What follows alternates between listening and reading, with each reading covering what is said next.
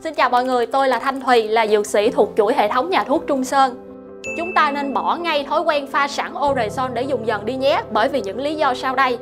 Đối với thuốc Orezon, bạn nên đặc biệt lưu ý cách bảo quản và thời gian sử dụng. Chỉ nên bảo quản ở nhiệt độ phòng dưới 30 độ C, tránh độ ẩm cao và ánh nắng trực tiếp. Nên sử dụng dung dịch Orezon ngay sau khi pha. Và nếu không sử dụng hết, có thể bảo quản dung dịch Orezon trong tủ lạnh. Sử dụng trong vòng 24 giờ và nhớ lắc đều trước khi sử dụng. Nếu không thể bảo quản trong tủ lạnh, dung dịch Orezon chỉ nên được sử dụng trong vòng 1 giờ sau khi pha. Và lý do chúng ta cần bảo quản kỹ dung dịch Orezon là do dung dịch có thể bị nhiễm khuẩn nếu để quá lâu. Nếu uống phải sẽ gây nguy hiểm cho sức khỏe của bệnh nhân.